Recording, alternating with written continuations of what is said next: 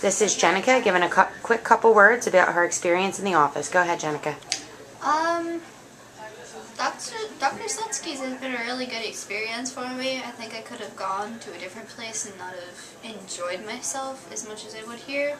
Because I like that you get to win things like movie tickets and, you know, like win tickets to a Phillies game or an Eagles game or something like that. Especially the nurses and the doctors have been really nice. When you go in and you sign in, it's like you maybe a five minute wait. Like they just run everything real quick. So I think it's been an overall really great experience. Good. And you're happy with your smile?